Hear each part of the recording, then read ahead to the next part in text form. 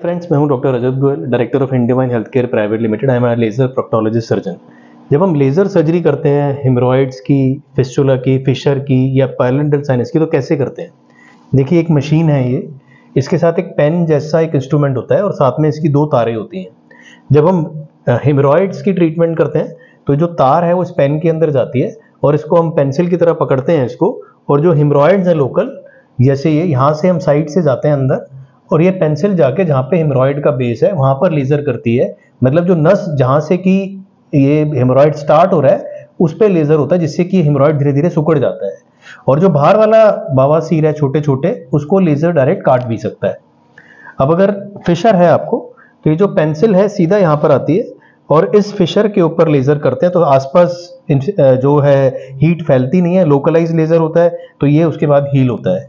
अगर फिस्टुला की बात करते हैं तो ये पेंसिल नहीं होती, एक तार आती है। तो इस ट्रैक के अंदर जब हम इसको बीच में से इंसीजन लगा के दोनों ट्रैक को डिस्कनेक्ट कर देते हैं तो इसके अंदर हम तार डालते हैं और धीरे धीरे इसको हम विड्रॉ करते हैं। तो ये ट्रैक अपने आप ऑब्लिटरेट हो जाता है। इस तरह से ये सारी चीज़ें एकदम से खत्म हो जाती है।